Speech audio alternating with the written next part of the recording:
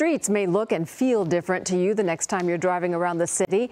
In an effort to reduce street takeovers, one councilman has pushed for something called Botts Dots.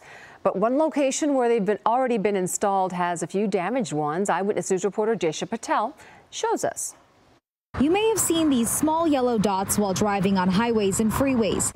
They're called Botts Dots, and Compton Councilman Andre Spicer says community members came up with the idea to put them on Compton roads because of street takeovers. The city started installing them about a week ago. They're currently at two major intersections in Compton, Santa Fe Avenue and Compton Boulevard, as well as Wilmington Avenue and Caldwell Street. It's been an issue in the city for a while now, as you know, they're taking over the streets, they're holding up traffic. Residents have complained about not getting to their homes for two or three hours at a time.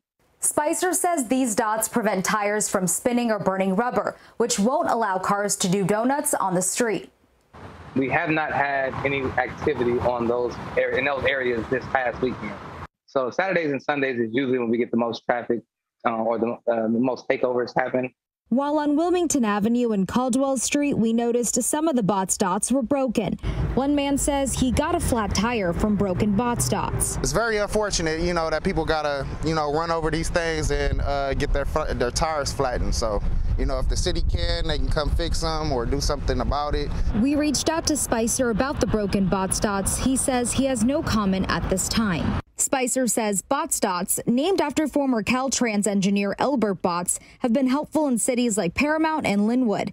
They've cost the city of Compton about $4,000 so far.